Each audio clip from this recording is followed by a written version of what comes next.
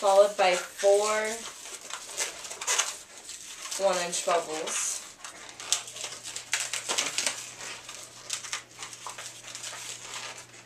And you're going to twist them together. You take this longer part and you put it over before and then you feed it through the legs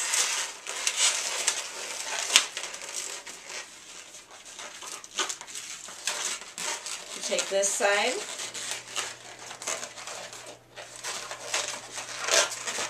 pinch twist it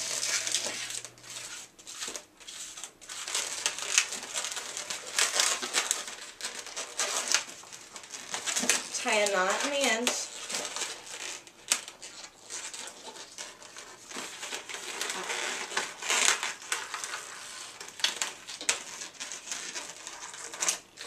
This one you can also make into a flying turtle. It'll sit right.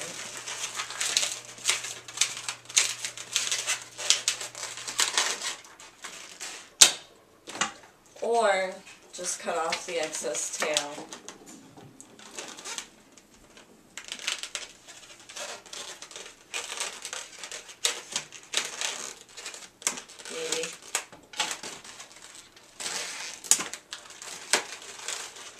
And there you have a turtle.